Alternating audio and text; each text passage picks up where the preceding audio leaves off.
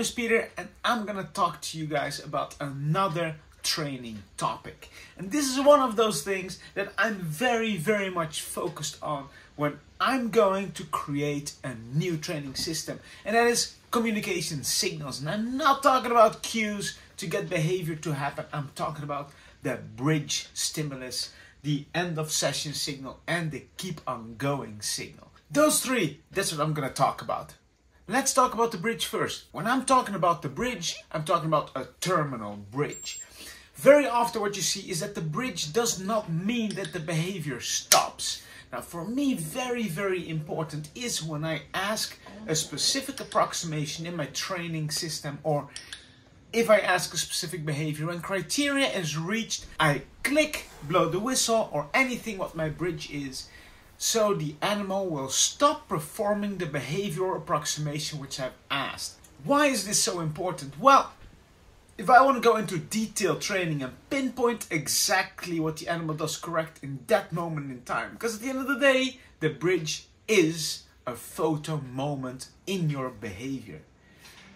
If that's the case, we should make it a terminal bridge because we're actually training way more efficiently. Then the keep on going signal, another beautiful signal that we have. Many, many, but many trainers are using it and that's completely fine.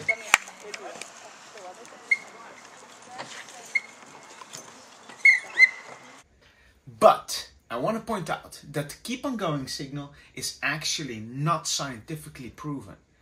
So we're using it and I know some very respected professionals in this field say, why will we add more sounds in an environment where there's already so many things happening. Fair point, I'd say. You know, I'm sometimes using them as well, but preferably, what is even better and way more clear to the animal is not use a keep on going signal. So it's full focus on behavior that we've asked and that it reaches criteria and then followed by a reinforcer. Therefore, I don't try to use it, but I catch myself all the time of using it because it's so easy to happen. Then the last one is the end of session signal. Very interesting, a very interesting signal because it basically tells the animal the session is over. What we expect the animal to do is do something for themselves. But funny enough, when I'm asking to many, many people, hey, are you using an end of session signal? Many say no. Now, we already give away a long time ago to the animal the session is going to end, so without you knowing it, you probably do this already.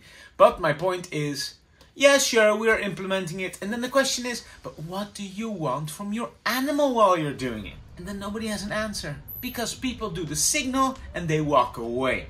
But essentially, you give an end of session signal, which should be followed by criteria. So what is the criteria when I'm asking this signal to my animals? What I want them to do is walk away, do something for yourself, which means that I have to give them something to do for themselves. But another option is, you know what?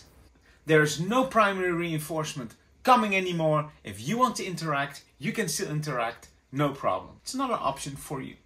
So these three signals are often my main focus we're going to try to change the system, look at the current system and how we apply these specific communication signals to our animals. Because animals that seem to show us frustrating behavior often is an outcome of a poor communication system to our animals. If you have any questions, please drop them in the comments down below. If you have any add-ons to this video, please let us know as well. We're also here for learning. Otherwise, thank you very much for watching and I hope to see you next time. Bye bye.